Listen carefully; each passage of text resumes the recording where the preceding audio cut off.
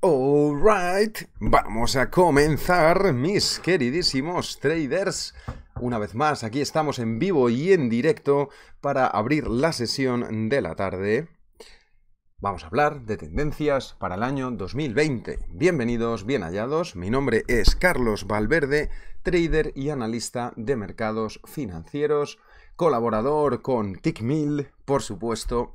Y vamos a comenzar sin más dilación. Lo primero que voy a hacer es compartir la publicación para que vayan entrando todos mis queridísimos traders. Un momentito. ¿Dónde estamos? Aquí, alright. Vamos a compartir. Mm-hmm. ¿Qué tendencias nos esperan? En directo. Alright. ¿Estamos todos listos? Pues vamos allá, ya he compartido. Voy a empezar leyendo el aviso legal y de riesgos que conlleva hacer trading, ya lo sabéis. Operar forex, CFDs o cualquier tipo de instrumento online es especulativo y de alto riesgo. Por lo tanto, no es adecuado eh, para todo el mundo, solo para aquellas personas que comprenden y están dispuestas a asumir los riesgos económicos, jurídicos u otros que pueda haber involucrados a la hora de hacer y operar, hacer trading.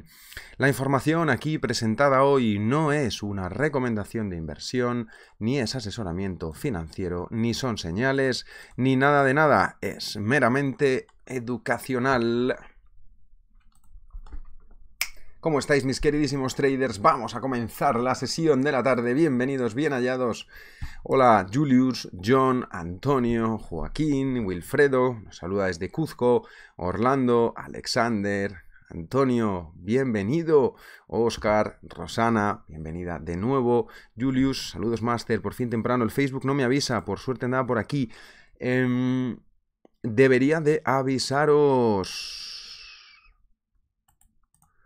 debería de avisaros. Hola Alexander.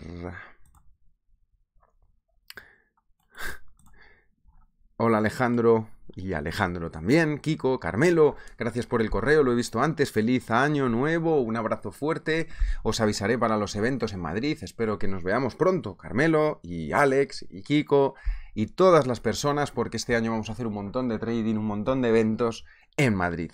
Buenas tardes, Kiko. Tú sí que eres un crack. Hola, Boris. ¿Cómo estamos? Vale, vamos a esto. El lío, cómo está la cosa, la situación.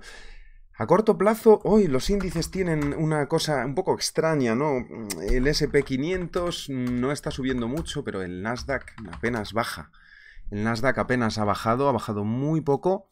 En comparación, estoy en eh, mirar arriba a la izquierda. Si tenéis alguna duda sobre el instrumento que estoy analizando, podéis ver el marco temporal, H1, una hora, US Tech Technological, el índice, el CFD de TICMIL del Nasdaq. ¿Qué pasa con el Nasdaq? Que del último impulso ni ha tocado, me da igual donde pongas el FIBO, ni ha llegado a tocar el 382 y ya está cerca del máximo histórico que está aquí, el 8000. 890. Entonces, ¿qué comentaba? Que mirar el SP500 y mirar el Dow Jones, que sí que han dado más retroceso, pero el Nasdaq apenas ha dado retroceso. Esto es el SP500. Entonces, bueno, hoy voy a mirar a los índices, sobre todo tendencias para el año de eh, índices, ¿vale? Sobre todo. Y vamos a analizar. Esto de todas formas no tiene tanta importancia porque es solamente un día. Una sesión, cada día mm, por sí mismo, ¿vale? No tiene la importancia del conjunto de sesiones. Una sesión es importante las tendencias se van a ir haciendo poco a poco a lo largo de varias, de muchas sesiones, pero ahora vamos a mirar hoy el, el completo, el globo completo desde arriba, visión de, de, globo, quiero decir, como si estuviéramos desde un globo aerostático, ¿no? Que ves todo desde lejos. Ese es un poco el concepto de ver el bosque. ¿Vale? Javier Herrera, ¿estás en la sintonía correcta? Sí, ambos estáis en la sintonía correcta. Esto es Radio Tic Radio Charlie. Es broma. Abraham, buen día, Máster. Estamos listos para una sesión más de aprendizaje. Vamos para allá. ¿Ya empezó a operar, Máster? Daniel, sí, señor. Hoy tengo el primer trade del año. Hola, Alejandro. Hola, Juan José. Pero como la entrada ya ha sido anterior, todavía no está cerrada. La entrada ya ha sido antes y hoy no hay live trading. No lo voy a comentar. Pero si alguien lo eh, adivina, eh, os daré pistas, ¿vale? Tampoco es un trade, nada, ha surgido hace un rato. La pista que os doy es que se encuentra en uno de estos tres índices. SP500, Dow Jones o Nasdaq. Es el primer trade del año. Tengo una operación ahí. A ver si lo adivinas. Daniel. Vamos a empezar analizando el SP500 primero. Ya sabéis que una operación no significa absolutamente nada y que los traders vivimos por una serie, digamos, una suma. Eh, es la suma de todos los trades, ¿vale? Bien. SP500. Me gustaría, en un momento dado, a lo mejor sacar la escala semilogarítmica del SP500. Esto es semanal. La escala logarítmica no se ve tan burbuja, ¿vale? Porque pondera los precios, eh, esto tener en cuenta que lleva subiendo prácticamente 70 años, esto lleva subiendo pues desde los años 30, desde la Segunda Guerra Mundial, desde el crack del 29, un día lo analizamos, me acuerdo, análisis de, de burbujas históricas, lo vimos y lleva sin, sin, parar de subir bastante tiempo. Aquí no se ve tan burbuja si ponemos la escala logarítmica, que lo que hace la escala logarítmica es que le da otro tipo de mm, pondera los, los valores, porque claro, no es lo mismo de 50 a 100 que de 700 a 3700, ¿no? O de 1000 a 3000, ¿de acuerdo? Entonces, ¿qué pasa? que eh, si yo quito la escala logarítmica, pues estos precios de la izquierda se van a ver, mm, ¿vale? Aquí a la izquierda. No sé si me estáis entendiendo. Es una fórmula para que este data sacar una especie de referencia, ¿vale? Para que no se vea tan burbuja. No se ve tan burbuja si pasamos a escala logarítmica. Esto es interesante si queréis analizar tendencias de muy largo plazo y tener eh, pues una visión de todo el conjunto. Pero vamos a ir a la escala normal, porque es lo que vamos a ver ahora y todo el mundo está viendo. SP500 semanal alcista, mm, el ángulo no es burbujeante todavía, aunque está mm, cerca, tiene un ángulo muy fuerte aquí, todavía no está parabólico, ¿vale? Parabólico es decir que va tangencial a, a la luna, eso todavía no, todavía no está parabólico. Casi, Mateo, casi, no, no es el trade o ha dicho, tienes un breakout en el SP500. No. Casi. Entonces, bueno, todavía no. Perdonad, no está parabólico el SP500, pero el ángulo es muy agresivo. Como comentamos en las revisiones anual, en, el especial de Navidad, que voy a dejar aquí el vídeo, el que no lo haya visto, que lo vea, porque es muy interesante. Darme dos segundos que lo voy a sacar. No. Ey, ey, ey que este vídeo es importante, el especial de Navidad. ¿Dónde está? Especial Navidad 2019. Está aquí.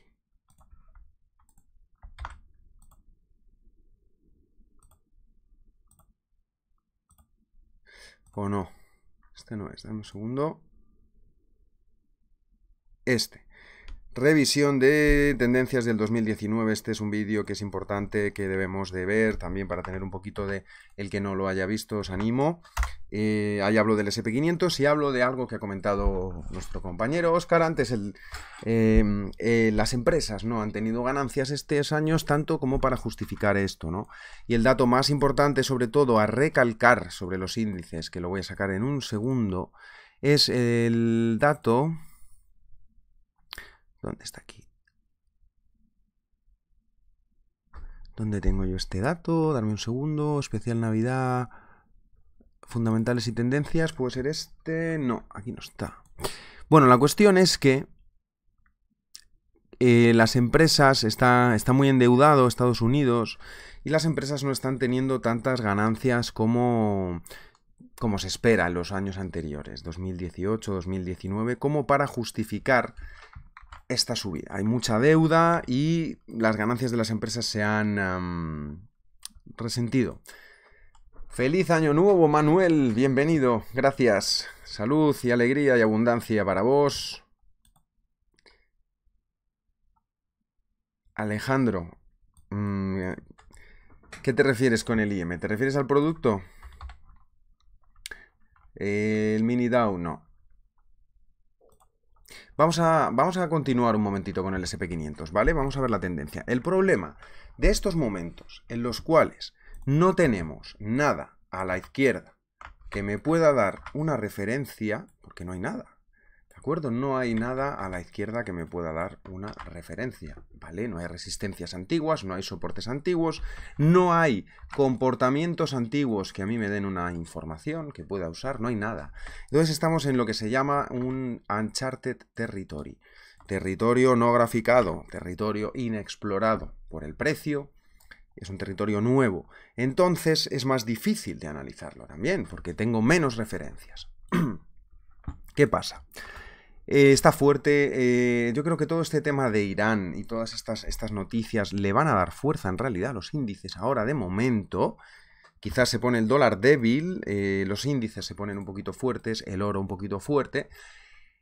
Y yo estaría alcista, los índices, me guste o no me guste, debo de seguir el flow de la tendencia y del dinero, del capital.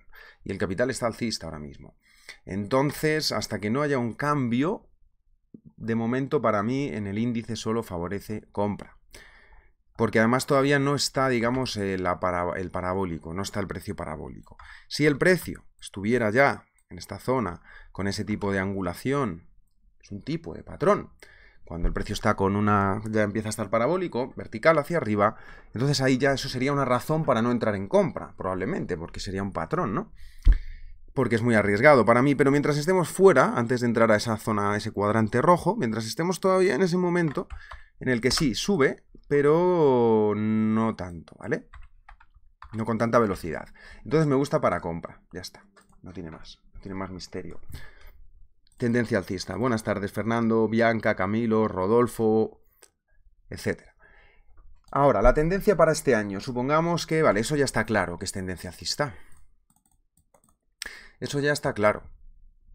¿A partir de qué momento dejaría yo de buscar compras? Eh... ¿A partir de qué momento empezaría yo a dejar de buscar compra? En el momento en el que yo vea aquí arriba que empieza a hacer fallos de hacer nuevos máximos, aunque no caiga mucho, pero si empieza a hacer nuevos máximos y hay una primera impulso fuerte de venta, no digo que vaya a hacer esto que estoy dibujando, ¿vale? Simplemente es una idea. Si hace un primer impulso de venta, voy a estar muy preocupado, muy atento al segundo retroceso, se supone. Si ahí ya me falla, si me falla ya aquí de hacer este nuevo máximo en el segundo, es, una, ya, es un cambio ya para mí, ya empezaré a buscar ventas. Sobre todo, también este nivel, el 0.3023, 3023 en el Standard Poor's SP500. El 3023 si cae, para mí es una zona muy importante, una zona clave. ¿Qué pasa? Que cuanto más se aleje, puede ser que el precio fabrique otra zona un poco más arriba y entonces ya pues podamos decir, bueno, pues el 3200 cuando caiga el 3200, pero necesito que el precio me fabrique ese mínimo, me fabrique esa estructura como lo hizo aquí.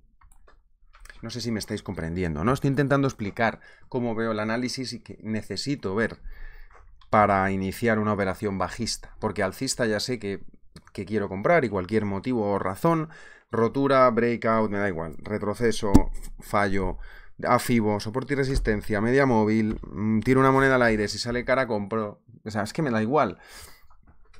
Porque ya sé la condición del mercado, que es alcista. Y ahora la, condición, lo que yo necesito ver para que la condición sea bajista, es eso, doble, doble techo o fallo de hacer nuevos máximos, como queráis llamarlo, rotura de la estructura, primer movimiento fuerte y que el segundo movimiento no sea capaz de igualar el máximo anterior. Ya eso será un poco el... Y todo esto puede pasar muy rápido, entonces tenemos que tener en... claramente visualizado más o menos lo que queremos ver. Eh, la idea, ¿vale? No, no es el Dow Jones ni es el SP500. Por lo tanto, ya sabéis cuál es el, em, el instrumento donde tengo el trade, ¿vale? Manuel, Carlos, ¿conoces algo de los blockout? Tengo entendido que es un espacio de tiempo en el que las propias empresas no pueden recomprar sus propias acciones y que esto evidentemente puede afectar al mercado. Mm, algo he leído alguna vez de estos eh, procesos de restricción para las eh, compras, pero no me parece que sea algo... Hmm, Esto es para los propios, para las empresas, o sea, no es para... Es para... Se hace además... Eh, esto tiene un motivo en realidad, Manuel, ¿vale? Y no te compliques mucho con esto. Esto se hace para que los propios trabajadores, directivos o empresarios que son que trabajan en la empresa, que dictan las estrategias de empresa, que hacen toman decisiones de la empresa para que ellos mismos no puedan operar acciones de la empresa durante un tiempo. Y esto se hace para prevenir el insider trading, que se dice.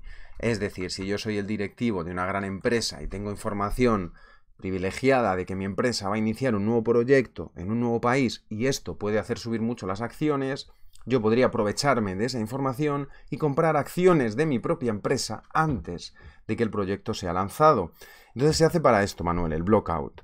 Mm, no creo que afecte mucho al mercado, la verdad, sinceramente.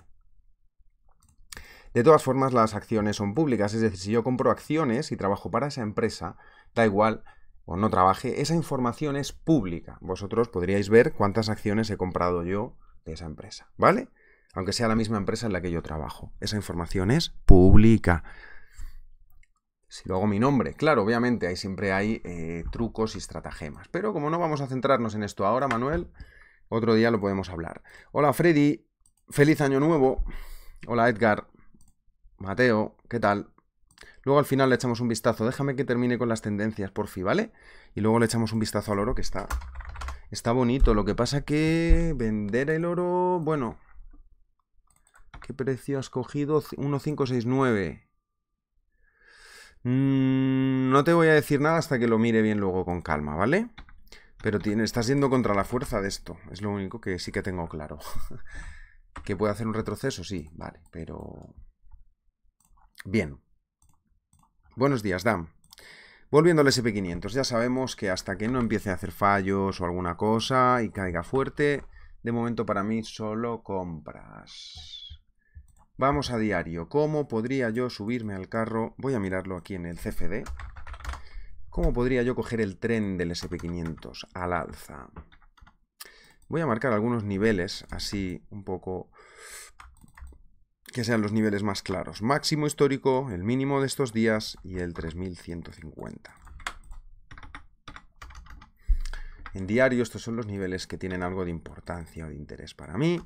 Estoy viendo que en 4 horas tiene un poquito de patrón de rango, congestión, un poquito de lateral. Pero como venimos de una tendencia alcista, lo más probable es que haga otro máximo, ¿no? Es lo más fácil, lo que menos esfuerzo requiere, porque hay más compradores. Entonces, em, bueno, podría ser interesante, de hecho, a lo mejor buscar un, um, una rotura falsa aquí abajo, podría ser interesante que el precio haga rotura del 3200 para después volver a meterse dentro de la caja. Es una opción para compras. Más opciones, el FIBO de aquí, de esta zona, también ya ha sido testeado exitosamente, aunque no ha rebotado mucho al alza tampoco. 3236, toda esta zona algo de demanda tiene, es obvio, se ve claramente, ¿no? Si no, no hubiera no hubiera hecho ese, empuje ahí. Pero la cuestión, ¿será capaz de sacar estos máximos en 3250? Ya estoy viendo un poco más a corto plazo. Pues no lo sé, ya veremos. La cuestión es tener claro lo que queremos hacer. Yo de momento en el SP500 me estoy esperando. Me gusta más la idea del breakout arriba, sorpresa, y sacar aquí a, los vendedores, que probablemente tengan su protección, su stop de pérdidas protegido arriba.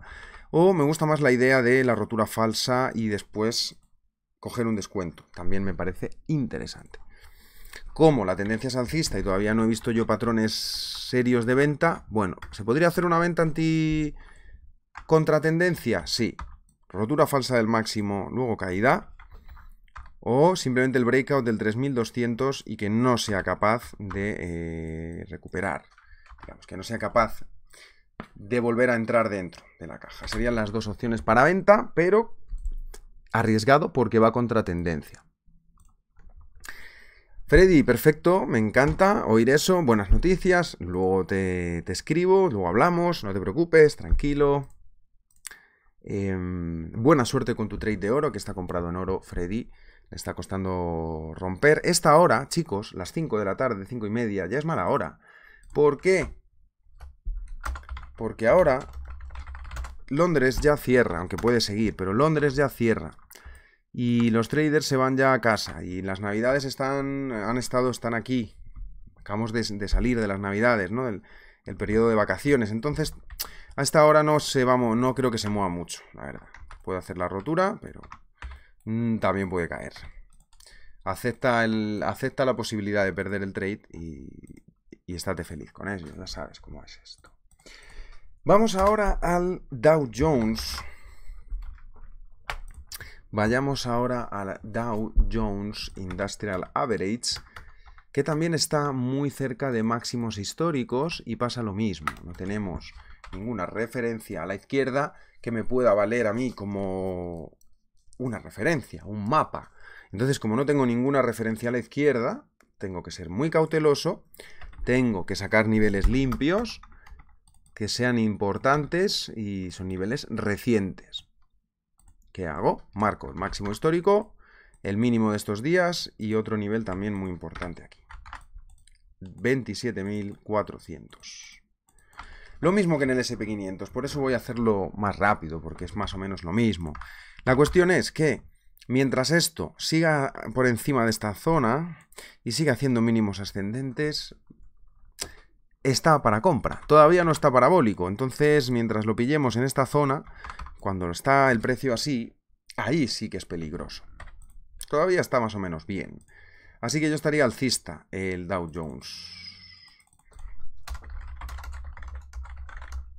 No tanto como el SP500 ni el, ni el Nasdaq, pero yo estaría alcista también el Dow Jones. De hecho, está haciendo una especie de Batman, si os dais cuenta. Ahí está la estructura en el 28.380. Perdonar que necesitaba beber, estaba seco. Hola Eddie, Fernando, Frankie, Mauricio, Ibar. Entonces, de momento, igual que el, índice anterior, que el SP500. Ideas varias para poder subirme al carro. Zona de FIBO, que ya está más o menos no me parece muy buena porque ya ha rebotado y no es capaz de atacar a, esta zona. Segunda idea, rotura falsa de mínimos para luego darse la vuelta. O simplemente el breakout alcista del máximo 28.700, buscando atacar el, el máximo histórico, ¿vale? Igual que el SP500.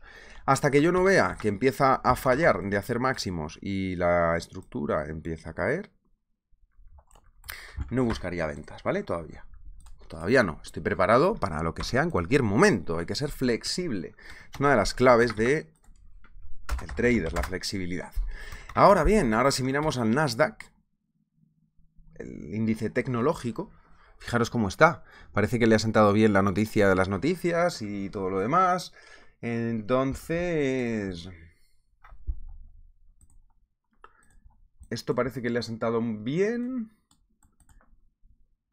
Y em, está muy fuerte, está mucho más fuerte el Nasdaq que, los otros índices ahora, a puntito de hacer máximos históricos, perdón, y está también cogiendo velocidad. Todavía no está parabólico, pero el ángulo que tiene ya está empezando a ser un poco peligroso. Está empezando a estar en un ángulo muy fuerte, que es difícil de sostener, ¿vale? Ah, ya veremos si es capaz de aguantar este ritmo. Pero bueno, son empresas aquí como Google, Apple, Facebook, eh, muchas empresas tecnológicas, ¿no? Y de comercio online. Entonces, claro, estas empresas tecnológicas tienen mucha potencia, mucha fuerza y es una época también que han tenido buenas ventas, ¿no? En Navidad. Vamos a ver qué pasa. Hola Andrés, bienvenido. Rodolfo, Diego, Frankie, ¿cómo estás? ¿Cómo estáis, chicos? Entonces, para mí, yo el trade que tenía aquí simplemente era, un largo en el, en el Nasdaq.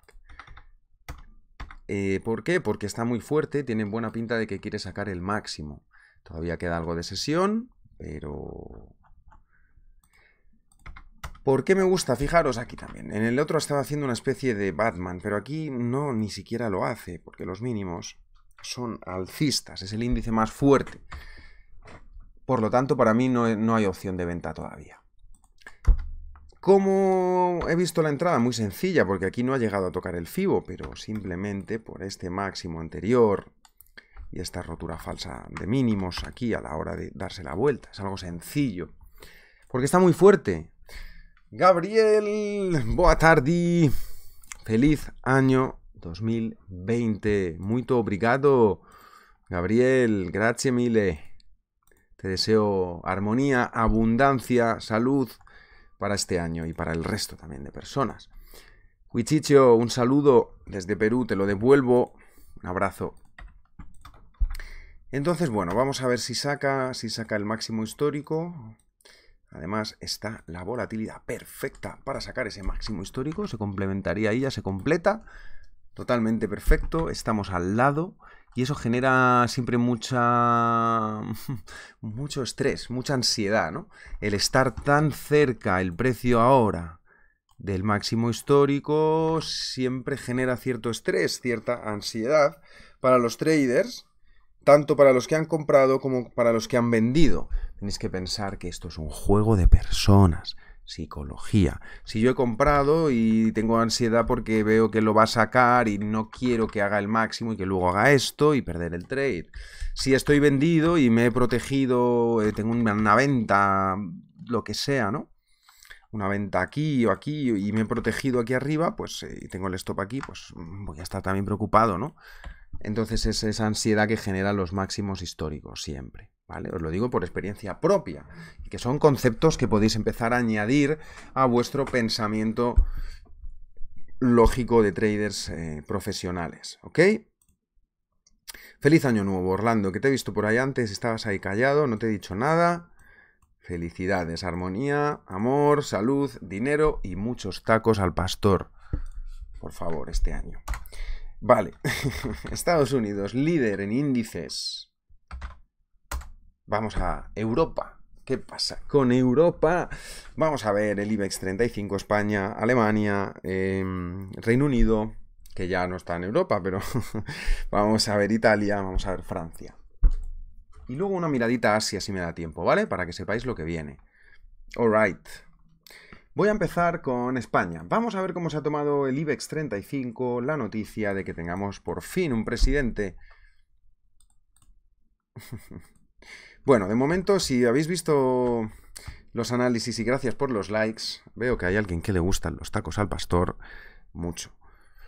Vamos a empezar. Imaginaros que cuando yo hice mi análisis también de Navidad de largo plazo, mm, yo el, el IBEX 35 lo veo bajista. ¿Por qué? Primero que estamos en precios de casi del 2008, de hace más de 10 años, ¿no? Estamos en precios del 2008 prácticamente. Pasan 10 años y sigues igual. ¿Cómo lo ves? Qué gracia. ¿No? Imagínate, claro. Esto nos está indicando también que ha habido, sí, crecimiento en algunas áreas, pero en otras áreas, en el tema empresarial, desde luego, fijaros, ¿no? Que siguen las acciones de las empresas todos al mismo, más o menos a la misma zona, 2008, no ha habido mucha recuperación, ¿no? Entonces, España no tiene muy buena pinta en ese aspecto, el IBEX 35. Y si empieza la cosa a ponerse fea, puede ser uno de los primeros índices que a mí me guste para venta también. Y aguantar bastante, hasta el 6000. Yo se lo, se lo decía en la Bull Market, gracias por los likes, Fernando me parece que he visto. Se lo decía en la Bull Market a uno de los de lo, me hicieron una entrevista para una revista, que pasaré el enlace, y me comentaban que yo se sorprendió cuando le dije, sí, sí, 6.000, perfectamente. 6.069 se puede ir tranquilamente, ¿no? Estamos en el 9.500. Se puede ir perfectamente hasta aquí. Yo no quiero compras en el IBEX 35, solo buscaría ventas. Hola Andrés, buenas. Hola Gergar. Solo estaría buscando ventas de momento en el índice español, IBEX. Entonces lo tenéis el CFD como Spain 35, España 35. Entonces, por ejemplo, primera idea, que ya la está medio, medio haciendo, rotura falsa del 9600. Perdonad, que estoy todavía eh, calentando motores con la voz. 9600. Si os dais cuenta, tiene problemas. No lo termina de atravesar. Y ya está otra vez entrando adentro de la caja del 9600. Es como que hay algo que lo repele, que le da fuerza bajista siempre que atraviesa un poquito arriba, ya está otra vez buscando ventas. Entonces, ojo con el, con el IBEX. Hay un gap además que no ha sido cerrado. ¿Esto de cuándo es?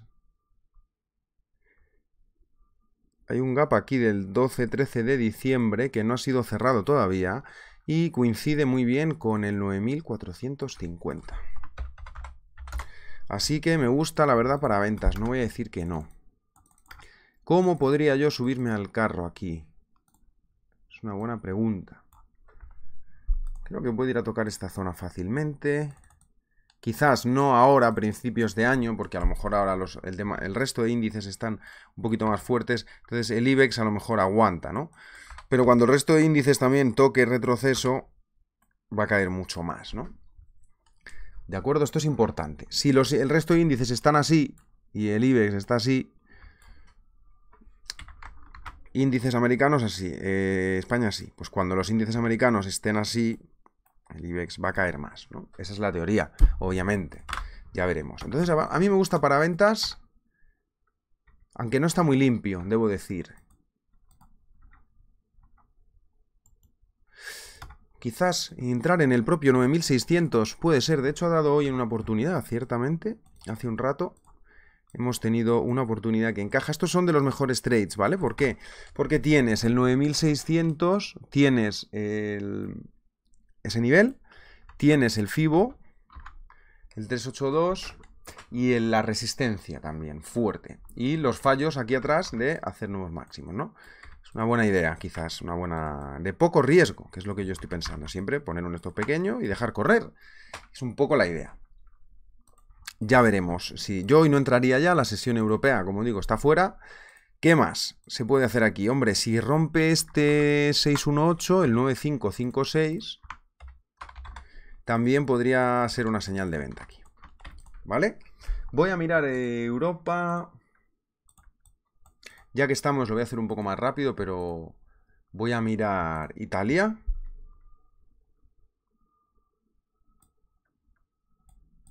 Estoy mirando Italia ahora. El mensual se encuentra parecido a España, pero mínimos ascendentes, un poquito mejor. Y tiene un pequeño triángulo que está también jugando ahí a ver si lo rompe o no lo rompe. Por lo tanto, atentos a este nivel. El 24.000. 24.000. Eh. Este es interesante, ¿vale? También, atentos a este nivel, el 24.000 en el eh, índice italiano. 24.058 en realidad también, ¿vale? Esa zona pues lo mismo que en el índice español, buscar ventas para mí, desde mi punto de vista, pero una vez que haya roto primero arriba. Vamos a ver Francia. Francia se encuentra algo mejor, tiene algo más de fuerza. Estoy viendo.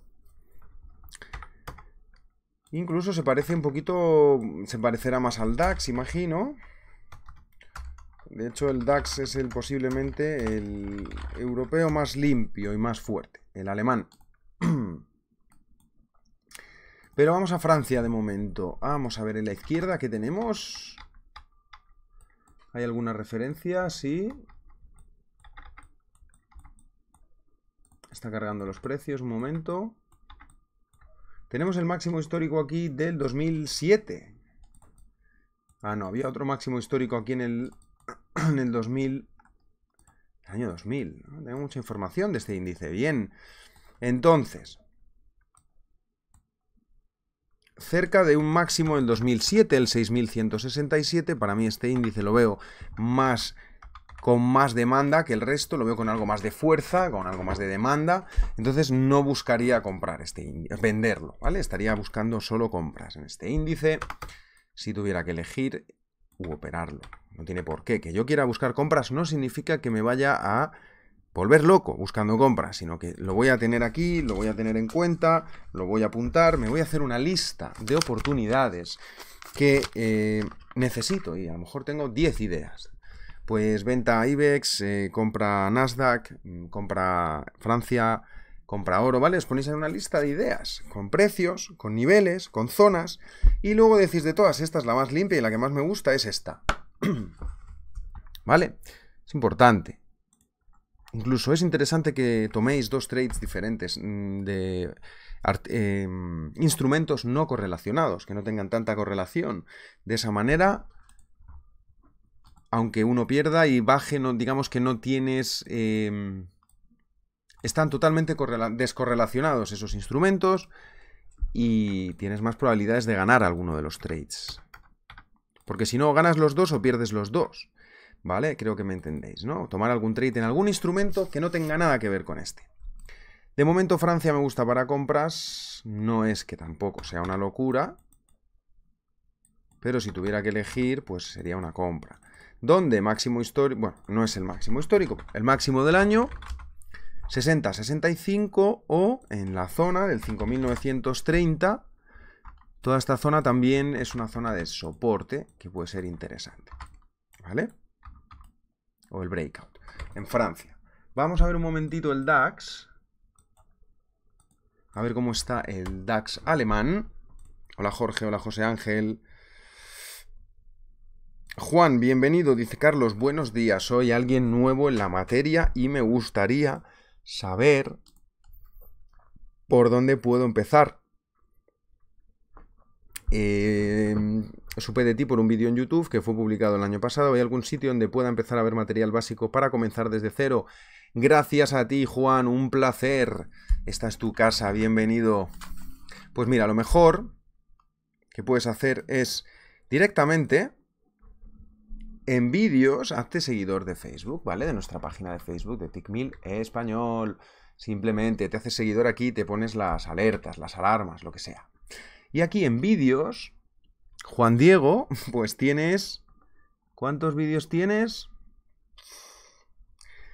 Pues no lo sé, ya estaremos cerca quizá de los 900, quizás 1000. Te lo digo ahora mismo. Y vas viendo los vídeos desde el principio, ¿vale? Te lo digo, te lo tendré que decir, no sé el número, pero bueno, y aquí en vídeos te vas atrás del todo y vas viendo todos los vídeos, pero también lo que puedes hacer es, aquí puedes buscar y decir, me apetece saber sobre soporte y resistencia, lo que, o... Y haces una búsqueda en los vídeos de soporte y resistencia. Y los que yo haya titulado soporte o resistencia te van a aparecer y los vas a poder ver. Yo te recomiendo que, y toda la gente nueva, que vean los vídeos de introducción.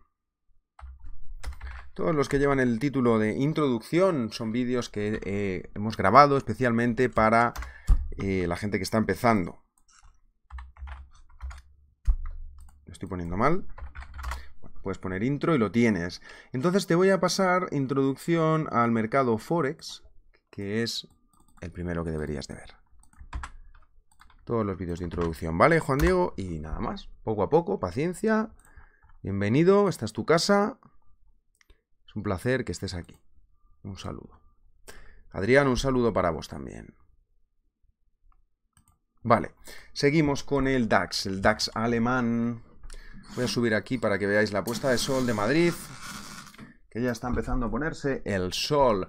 Bien, entonces, el DAX alemán, concentraros chicos y chicas, gráfico mensual, muy cerca de máximos históricos. Tiene fuerza el DAX, ¿eh?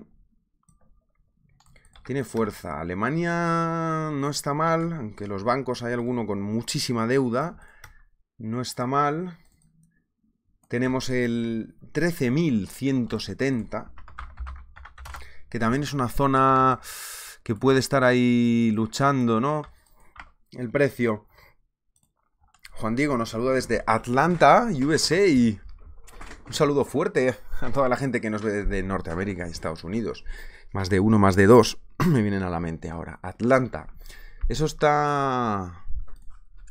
¿Es East Coast? ¿O no?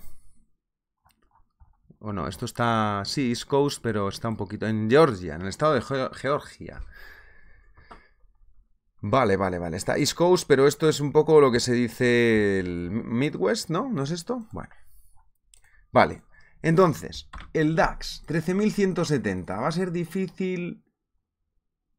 Hay que esperar a que el precio para mí, desde mi punto de vista ahora, salga de esta zona. Porque hasta que no salga de aquí está haciendo una especie de diamante, de hecho. Está haciendo una especie de diamante. Y hasta que no salga de esta zona... Mm, estoy alcista por la tendencia, pero no es tan fácil de leer. Juan Carlos, un saludo. Nos saluda desde Perú. lo devuelvo con mucho cariño a toda la gente que nos ve desde Perú. Entonces, el DAX, ¿qué pasa? Fijaros este nivel a la izquierda. Es muy importante, ¿eh? El 13.170. Hasta que no supere y aguante bien por encima, yo no voy a tocar nada. Si tuviera que elegir, probablemente elegiría una compra. Pero como está este nivel en medio, si os dais cuenta, además está sucio por la Navidad y hay que esperar un poquito a que el precio salga de aquí. Desde mi punto de vista, yo no lo, no lo veo claro el DAX ahora a corto plazo. Ahmed, welcome. How are you, my friend? Happy New Year. Merry Christmas. Salam aleikum. Vamos a seguir. Entonces, el DAX... Yo estaría en espera ahora mismo en el DAX. Vamos a mirar un momento el FTSE. Inglés. Bueno, el Eurostox, faltaría pues el Eurostox, que es una especie de... es un índice compuesto. Italia, lo hemos visto antes, está muy parecido a España. Suiza está alcista. Después me faltaría Australia, Hong Kong, Japón. Hay unos cuantos índices. Pero voy a mirar el, perdón, el inglés. UK 100. Bien. Vamos a ver cómo está esto en mensual. Incapaz de hacer nuevos máximos. Está estancado aquí en esta zona. Está estancado, no tiene tendencia en, en mensual clara. Vamos a ver si por fin se resuelve y se aclara el tema del Brexit ya de una vez y se firman los papeles y se hace el divorcio ya, para que quede claro también para las empresas inglesas que pueden esperar este año. Porque si no va a ser difícil de, de tener una dirección clara, tanto para ellos como para nosotros, en cuanto al comercio, los acuerdos que puedan tener, etc. Así que de momento el índice inglés no lo voy a tocar incluso buscaría ventas si hace roturas falsas y empieza a caer el precio. Hola Ovidio. Por lo tanto, yo no, yo no me metería en el, en, el, en el índice inglés porque no está limpio del todo. Voy a siempre a preferir eh, otros índices más limpios. Vamos a mirar un momento Asia. Y voy a empezar por Australia. Estoy viendo todos los índices muy sucios, sobre todo los no americanos. Australia está arriba como en una zona... Mm, haciendo una especie de, de bandera arriba. Una banderita bajista, de hecho, por esto. Pero la tendencia sigue siendo alcista, aunque está muy sucio. Está sucio. No tiene una limpieza muy buena. Voy a marcar simplemente los niveles y dejar que el análisis técnico trabaje para mí, sin más. No voy a preocuparme. Además, si os dais cuenta, bueno, hay un par de cosas que me indican debilidad. De hecho, tres. Una, dos y tres. Tres zonas de grandes ventas bajistas cerca de máximos, con grandes impulsos a la baja. Entonces, si el resto de índices empezara a ponerse feo, pues podría ser una opción eh, Australia para venta, ¿vale? De momento no voy a tocar nada porque estaría muy sucio. Si hace un nuevo máximo, está claro que estaría, le daría fuerza. Hola vídeo, Gadi, Alejo, Julio, Carmelo. Lo siento chicos, hoy empezaba a las 5, ¿vale? Esta clase de hoy estaba puesta a las 5. Por lo tanto, me quedarán como 10 minutos, como mucho. 5 o 10 minutos. Podéis ver el vídeo desde el principio. Vale, ¿algún índice más importante? Vamos a mirar un momento al Nikkei, el índice de Japón. Que también lleva tiempo luchando con los máximos desde 2017. Si os dais cuenta en esta zona, esto es 2017, la primera mm, flecha a la izquierda, y esto es 2019, ¿no? Perdón, 2018. Entonces estamos otra vez en la zona de, pelea cerca de máximos. Japón, sabéis que tiene una economía que llevan años con eh, quantitative easing, es decir, imprimiendo moneda y dando eh, créditos y préstamos baratísimos para que la inflación repunte, porque tenían una tienen deflación, es difícil, ¿no? La de eh, superar la deflación en, Japón. ¿Qué significa? Que, que mm, ¿Qué significa en Japón? Que, por ejemplo, si alguien se quiere comprar una casa, pues mm, te esperas, dices, no, me la compro el mes que viene, porque todos los meses baja, el precio es más barato. Entonces nunca te compras esa casa, entras en un periodo deflacionario que es peligrosísimo para la economía. Porque no te compras la casa, el carpintero no tiene trabajo, el carpintero no tiene sueldo, a su vez no gasta y a su vez las, el resto de, tienes que bajar el precio y es un círculo vicioso que Japón lleva un tiempo con el quantitative easing, comprando bonos y dando créditos a mansalva, el grifo, ¿vale? Grifo de dinero abierto para todos. Es así, a unos intereses mínimos y por eso se están manteniendo con una economía más o menos las empresas se están manteniendo bien.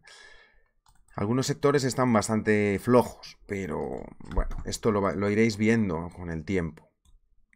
Un día cogéis y buscáis Japón y os ponéis economía de Japón, os metéis en Wikipedia o en cualquier lugar y empezáis a leer sobre la economía de Japón. Es interesante.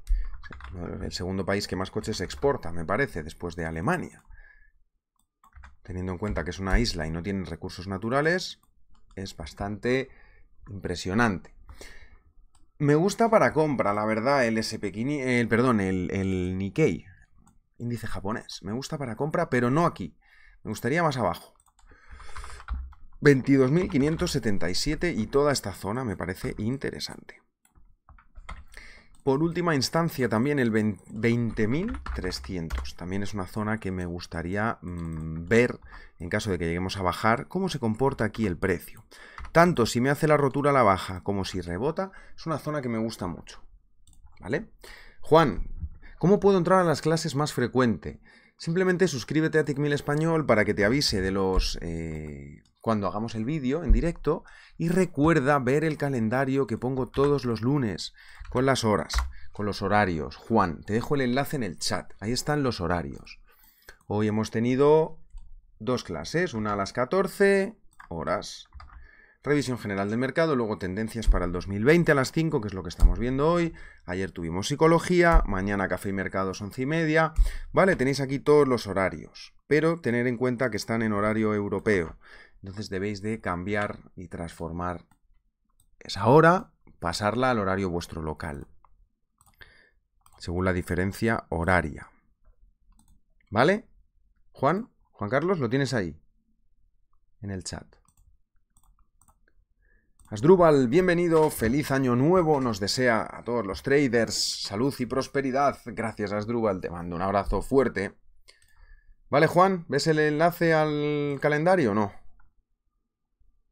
Juan Carlos. Salud y prosperidad para vos también, Asdrúbal. Vamos a seguir. Entonces, el índice de Japón, yo de momento me gusta para compras. La verdad, está aguantando bien. Incluso podría sacar el máximo si los índices americanos siguen apretando. ¿Qué más tenemos? Bueno, me faltaría el Eurostox. Que ya hemos dicho que mm, a mí tampoco me convence del todo, aunque está cerca de máximos. Y ahora voy a echar un vistazo a eh, África. Un momentico. Todos estos índices los tenéis en español, en, eh, o sea, en TICMIL, vamos. Y es interesante porque muchas oportunidades. África, ¿cómo está? Eh, este es el índice de Sudáfrica, ¿vale? Las 40 empresas más grandes de ahí, de Sudáfrica. Está sin mucha dirección. A mí no me gusta mucho para operar ahora este índice. Es verdad que ha tenido una tendencia fuerte ¿eh? durante tiempo. pero se está aplanando, si nos damos cuenta, un poquito aquí, se está aplanando. Entonces, yo de momento me esperaría, incluso sería una zona que yo podría buscar ventas aquí luego, por debajo del 48.000. Si empieza la recesión y empiezan los miedos y empiezan a caer los índices en general, el 48.000 coges aquí y te pones una alarma, haces clic derecho, operaciones, alerta, y te pones una alerta. ¿Lo veis que pone alerta? No. Cojo, pongo una alerta. Un poquito por encima, clic derecho, operaciones, clic derecho en el gráfico, marco la zona donde quiero la alerta, por encima del precio del nivel que me gusta, clic derecho, operaciones, alerta. Y ya me podéis observar aquí cómo el precio me ha puesto una pequeña línea de rayas discontinuas y una flechita. Que eso significa que si yo voy aquí y busco en alertas, podréis ver que tengo mi alerta puesta en África. Podéis ponerla por email, por sonido, etcétera. Que no caduque nunca, esto es importante. Es importante porque te las pone con una expiración aposta, de hecho, es automático. Clic derecho, modificar, caducidad. Vale, esto es importante, es un pequeño detalle, pero que puede marcar la diferencia entre que te avise cuando el precio está en un sitio fantástico y hacer un trade increíble, ¿no? Entonces, mejor que poner una orden que no sabes cómo, cómo va a llegar. Quitar la caducidad. Yo ya sé que esto no tengo que preocuparme. El día que el precio llegue aquí, me va a avisar y luego ya veré. ¿Ok? Importante, funcionar con alertas, que eh, para mí es una herramienta muy útil, ¿eh? Muy provechosa. Las alertas del precio. Yo ya no me preocupo, porque poner un buy limit directo, no sabes lo que puede pasar aquí, cómo llegará el precio. Yo pongo una alerta, cuando llegue la alerta, miro y ya tomo una decisión, ¿ok? Muy bien, chicos y chicas. Voy a mirar el oro para terminar un momento, porque ya vamos a hacer una hora. ¿Qué índice me falta? Bueno, me faltaría el petróleo, que lo vamos a mirar mañana, que es miércoles. Los bonos, que no me ha dado tiempo a verlos. Podemos verlos mañana. Y el oro. Vamos a ver el oro un momento. El oro, como he analizado antes también, está alcista. Entonces, para mí una venta no es muy buena idea. Pero, bueno, porque es ir contra tendencia, pero ya está. Antes se me olvidó enseñaros este FIBO que no lo había puesto antes. Se me había olvidado ponerlo, que es muy importante también este, ¿eh? Tienes que tenerlo muy en cuenta. El 1589, resistencia muy fuerte en el oro. 1589. Es una resistencia muy importante en el oro porque es un FIBO de mm, semanal mensual. ¿Vale? Entonces, ya tanto sea como para coger una rotura de ese nivel o como para esperar a hacer una venta o cualquier tipo de decisión, es un nivel a tener en cuenta, 1.589. No hay mucho más, no hay muchos más niveles que sean importantes ahora. Esta zona de la izquierda no tiene apenas... Eh, tenía otra resistencia aquí en el 1615. También es importante ese nivel.